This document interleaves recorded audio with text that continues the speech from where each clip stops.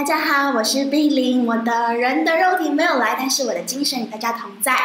这次来提案邀请大家加入我爱家我解惑，这是一个 Facebook 上面的公开社团，碧玲在这里邀请大家入社，请开启你的 Facebook，然后在搜寻框里面寻找我爱家我解惑，或者是扫描这个 QR code。爱家的人都应该看一看，因为我们可以远端作业，所以大家欢迎一边跳喜欢的坑，一边帮助我们，然后看看我们的资料库，随意看看，随便回回。像这里就是其中一个例子，他把同一分子和同志分开，然后错误的解释说同志就是大家熟知的叫做同性恋，排除了跨性别者、无性恋、双性恋、其他性少数，还有在场广大的直同志们。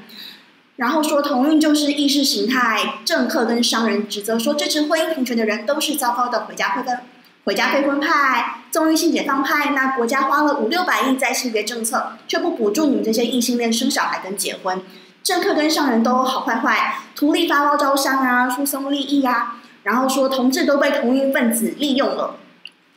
我们这个公开社团想做的事情不只是辟谣，更重要的是沟通与解惑，让对性别平等议题不熟悉或是仍然不清楚的人，可以在这里发现崭新的世界。这个社团主要做四件事情：第一，我们回报看起来像很爱家的讯息，然后标出疑问所在，标出有争议的地方；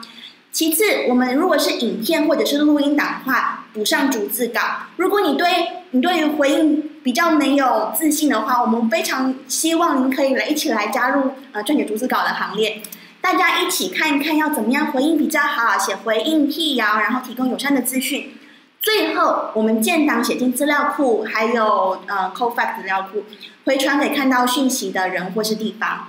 嗯，我们需要有爱心的人、关心人群的人、爱家的人、敬爱长辈的人、爱护小孩的人、上网找资料的人、有空听打逐字稿的人、会写文案的人、喜欢你暖暖的文字、洋溢着满满的幸福。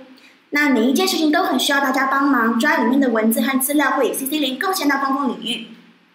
呃，好的，不好意思，李小姐，你还有四十秒的时间。没有没关系。